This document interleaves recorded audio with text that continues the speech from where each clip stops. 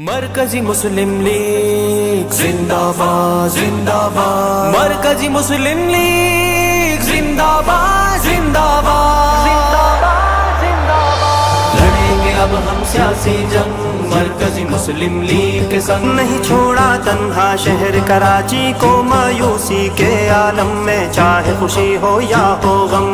ये मेरे को हाफ़ डोर के लिए मोटरसाइकिल की ज़रूरत है। जमात को सर यही पैगाम देना चाहते हैं कि माशाल्लाह बहुत अच्छा काम कर रही है। जो भी मामला हैं, जो लोग परेशान हैं, आए जो भी परेशानी है इधर बताएँ जहाँ तक होगा, इंशाल्लाह हेल्प करेंगे। सर, मैं भी अपना गाड़ी की अप्लाई के लिए आया हूँ बाइक के लिए बाइक के लिए। और मेरे तमाम उन लोगों से, गुजारिश है दरख्वास्त है भाइयों से कि हमारे पाकिस्तान मरकज मुस्लिम लीग से आया के रब्ता करें। जो बेरोजगार हजरात हैं, जो बेचारे परेशानियों के लिए दर दर भाग कर रहे हैं, रोज़गार के लिए भाग रहे हैं, वो यहाँ पर हैं। अपने मामला हमें बताएँ, जो भी परेशानी है इंशाल्लाह यहाँ सोल्व होगा अल्लाह के हुक्म से? सर हम बाइक लेने आए हैं। जमात के माशाल्लाह हम अपने तारीफ़ करेंगे जो अपने इतना अच्छा काम कर रहे हैं जमात बहुत अच्छा काम कर रही है माशाल्लाह। तो हमें भी कर रही है। और भी हम लोग जैसे मेरे पास मैं एक तो सुना दो को और बताऊँगा तीन को और को बताऊँगा अल्लाह करे वो भी इनशाला यहाँ आए। और बहुत अच्छा कर रही है गरीबों के लिए आसानी पैदा कर रही है।